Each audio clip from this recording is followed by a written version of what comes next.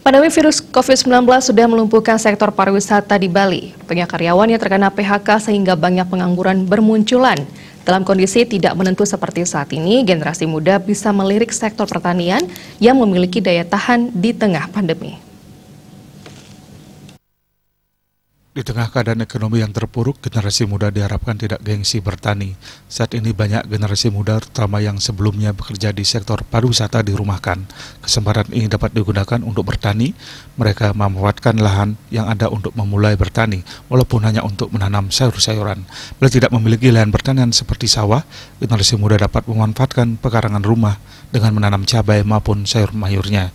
Setidaknya hasilnya bisa untuk memenuhi kebutuhan sehari-hari guna mengurangi biaya pengeluaran sehari-hari. Jika menanam sayur mayur atau cabai di pekarangan rumah dapat dipanen dan dikonsumsi langsung tanpa harus membeli.